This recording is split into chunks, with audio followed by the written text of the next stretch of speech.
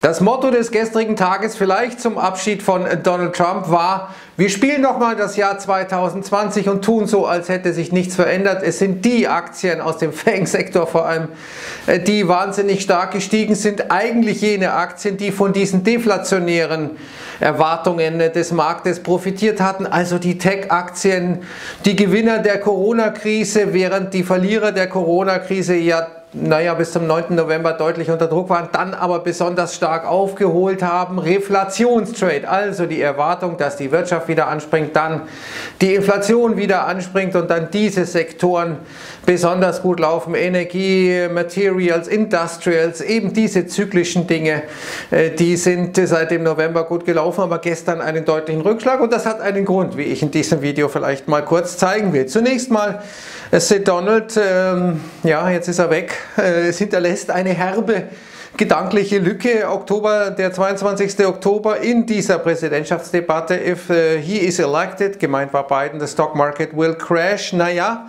so ganz ist es gestern nicht gewesen. Wir sehen, da schaut er schon ein bisschen eifersüchtig äh, auf ähm, Biden und die Aktienmärkte, die also trotz seines Abgangs gestiegen sind, eigentlich unerklärlich, muss man sagen. Und wenn wir uns mal genauer anschauen, was da passiert ist, rein charttechnisch zunächst mal, dann sehen wir hier in einem Chart von Michael Silver, dass der S&P 500 aus dieser Seitwärtskonsolidierung, die wir hier gesehen hatten, nach oben ausgebrochen ist. Äh, hier vielleicht noch politisch dazu wichtig, die Wall Street weiß, dass äh, Joe Biden jetzt diesen Stimulus von 1,9 Billionen nicht durchkriegen wird, also zumindest nicht die ganze Summe, aber man äh, wird jetzt eben erstmal Covid Relief, also die Schecks an die Amerikaner, das ist für die Wall Street sehr wichtig, schicken. Und äh, die Tax Increases, also die Steueranhebungen, die werden wahrscheinlich später kommen und da sagt sich die Wall Street, das ist eine schöne Mischung, gell? erst kriegen wir das Zuckerl und nachher kriegen wir die Peitsche, gell? aber was kümmert mich die Zukunft, wenn ich in der Gegenwart mir äh, das Leben schön machen kann. Ne? Und das war das Motto. Und dann sehen wir, dass das alles wieder mit einem sehr, sehr großen Gap nach oben erreicht wurde. Die Wall Street ist nicht in der Lage, wichtige charttechnische Marken in äh, Kassazeiten zu durchbrechen. Dazu braucht es immer die, nun sagen wir, gutwillige Mitarbeit der außerbörslichen Märkte. Böse Zungen sprechen auch von Manipulation, aber das sind böse Zungen, meine Damen und Herren. Hier sehen wir also dieses Monster-Aufwärtsgap hier beim S&P 500. Wir sehen den RSI schon sehr, sehr weit am Anschlag und wenn wir uns mal die Sektoren anschauen, die gestern hier ähm, gelaufen sind, dann sehen wir Consumer Discretionary, aber vor allem Communication Services, klar, Netflix-Zahlen, Amazon gut gelaufen. Äh, was nicht gut gelaufen ist, waren die Financials und relativ schwach gewesen auch Energy. Also diese beiden Sektoren, die vor allem seit dem 9. November gut laufen. Impfstoffhoffnung, äh, das äh, Motto. Und äh, wenn wir uns mal hier anschauen, was äh, da gelaufen ist zwischen Value und Growth, dann sehen wir hier Bums nach oben ausbrechen. Growth, also die Wachstums Wachstumsaktien, die Tech-Aktien, das gute alte Muster aus dem Jahr 2020, während Value sich kaum von der Stelle bewegt hat. Wir waren sozusagen jetzt im entgegengesetzten Modus der letzten Wochen. Schauen wir uns aber mal den Nasdaq an, der natürlich gestern besonders stark profitiert hat. Gestern haben wir gesehen, dass alle fünf FANG-Aktien über 3% im Plus waren. Das gab es zuletzt am 6. April 2020. Ja, da schau her. Und jetzt sehen wir, wir sind hier jetzt äh, an die obere Kanalbegrenzung äh, dieses äh, Trends hier angekommen. Also das ist schon ein ziemlicher Schluck aus der Pulle gewesen mit zwei Aufwärts- oder mit einem Monster-Aufwärts-Gap hier. Wie wir das hier sehen, RSI ist extrem angespannt, schon extrem hoch.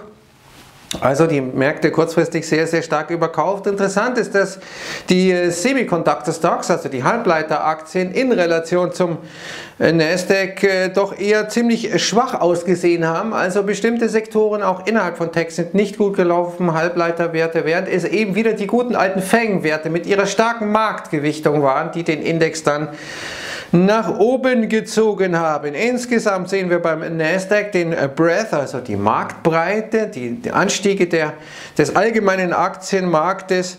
Äh, da sehen wir jetzt äh, beim Nasdaq Composite fast 88% aller Aktien sind über ihrem 200-Tages-Durchschnitt. Das ist der höchste Wert seit Februar 2004, also schon ein paar Tägchen her und besonders gut laufen diese Werte aus dem Tech-Sektor, die unprofitabel sind. Hier sehen wir, äh, die haben eine Monster-Rallye hinter sich, die unprofitablen Tech-Werte in Relation zum S&P 500, dessen Anstieg hier seit April, seit März 2020 ja moderat ist, äh, moderat erscheint äh, im Vergleich zu diesen Junk-Tech-Werten. Also wir sehen, Dreck wird wieder nach oben gespült, ein fantastisches Zeichen hm, für die Gesundheit dieser Märkte. Und wir sehen gestern Russell 2000, dieser Nebenwerteindex, der seit dem 8. November so stark profitiert hatte in Relation zum Nasdaq, der dann nicht mehr so mitgestiegen ist, nicht mehr der Schrittmacher der Rallye war. Da gab es einen herben Rückschlag, glaube ich, der größte Rückgang auch seit äh, vielen äh, Monaten und insgesamt ist es ja so, dass es die kleinen Trader sind, diese Retail-Trader, äh, die ähm, hier richtig äh, abgesahnt äh, haben und hier die Big Player, die schauen dagegen schlecht aus. Also die Hedgefonds etc., die performen viel schlechter als diese kleinen Robin Hooder, die nicht mal eine Ahnung vom Markt haben und glauben, Aktien können nur steigen.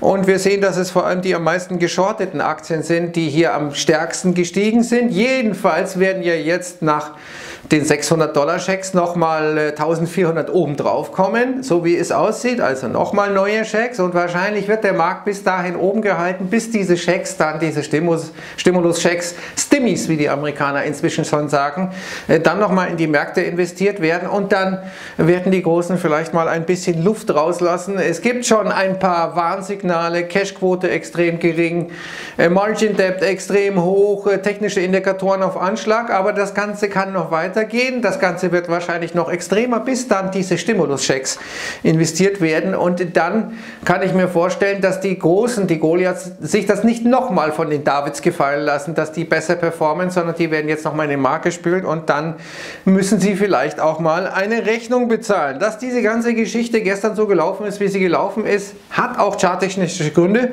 Hier sehen wir mal den äh, Invesco S&P 500 Equal Weight ETF.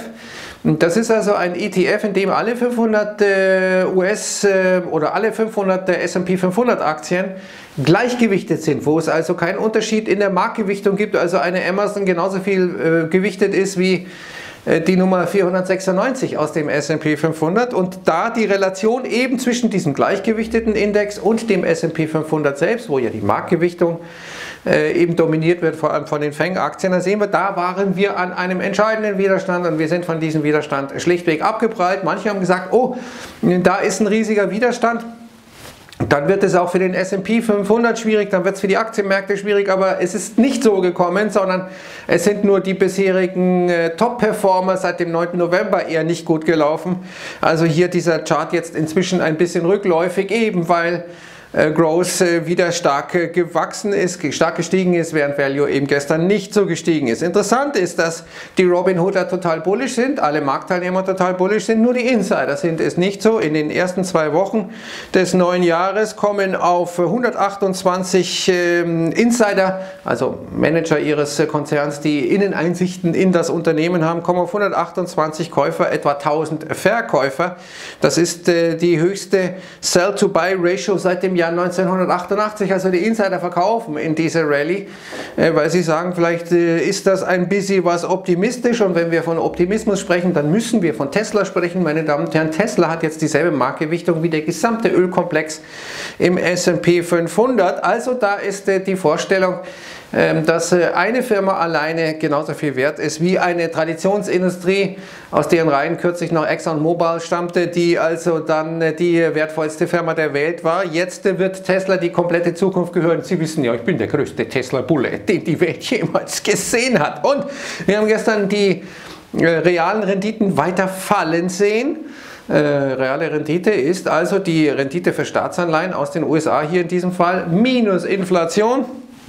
Wir sehen, dass die fünfjährige reale Rendite, also die Rendite für die fünfjährige US-Staatsanleihe minus die Inflation in den USA jetzt sich einem neuen Allzeittief nähert. Das hat Gold dann gestern geholfen. Nach kurzzeitiger Schwäche ist es dann nach oben gegangen und hat deutlich besser performt als Bitcoin. Kann auch daran gelegen haben, dass Janet Yellen durchaus gesagt hat, ja, Bitcoin, das ist ein wenig undurchsichtig, das wird gerne von Kriminellen benutzt, etc., etc., da werden wir genauer hinschauen und das ist natürlich für große Investoren ein kleines Problem, die ja zuletzt auch auf den Zug aufgesprungen sind. Wenn dann irgendwie doch Regularien kommen, wenn das Ganze schwieriger wird, dann müssten diese großen, größeren Investoren sich daraus wieder verabschieden, denn die können nicht gegen Regularien handeln.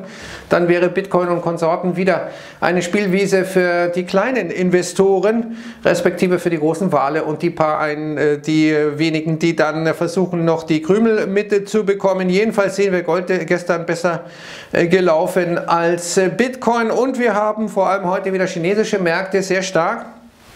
Die Indizes über 1% im Plus. Hier sagt die Global Times, ja, das liegt daran, dass Joe Biden hier eine Politik machen wird, die deutlich weniger aggressiv ist, auch gegenüber China. Wir sehen hier unten einen Cartoon äh, zu Donald Trump. Da wird jetzt aufgeräumt, da kommt jetzt die Putzkräfte und äh, faktisch äh, dürften aber jetzt äh, in diese ähm, Rallye oder hat diese Rallye mit ausgelöst ähm, eine deutliche Injektion der chinesischen Notenbank, die ungefähr 700 Milliarden Yuan hier reingepumpt hat in die Märkte. Warum? Weil jetzt zwischen dem 19. und dem 22. Januar die chinesischen Firmen ihre Steuern bezahlen müssen und dann herrscht Knappheit an Liquidität im System. Also, das soll es erstmal gewesen sein. Wir haben praktisch so eine Art Backflash ins Jahr 2020 gesehen. Wird das weitergehen? Kurzfristig kurzfristig vielleicht ja, in diesem Muster on the long run, glaube ich, wird Tech Probleme kriegen. In der beiden Administration werden die Dinge äh, insgesamt nicht mehr so einfach werden. Aber das ist Zukunftsmusik, meine Damen und Herren. Jetzt zurück in die Gegenwart. Servus und ciao.